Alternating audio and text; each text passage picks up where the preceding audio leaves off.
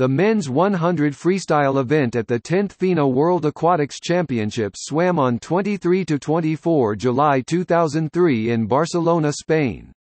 Preliminary and semifinal heats swam on July 23, while the final swam on July 24.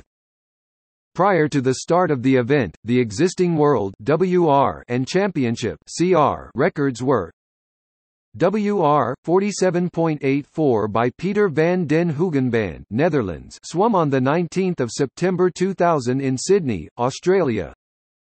CR 48 33 by Anthony Ervin, USA, swum on the 27th of July 2001 in Fukuoka, Japan. Topic: Results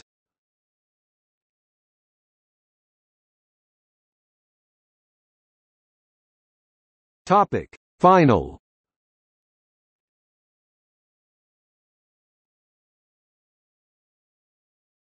Topic: Semifinals.